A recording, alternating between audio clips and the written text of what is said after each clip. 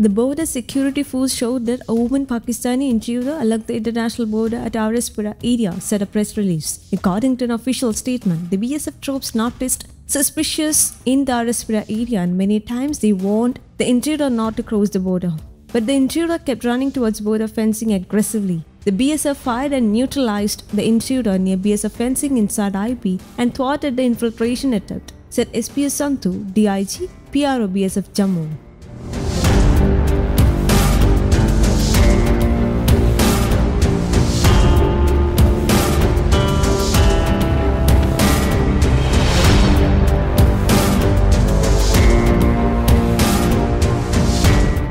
News desk Kaumudi global.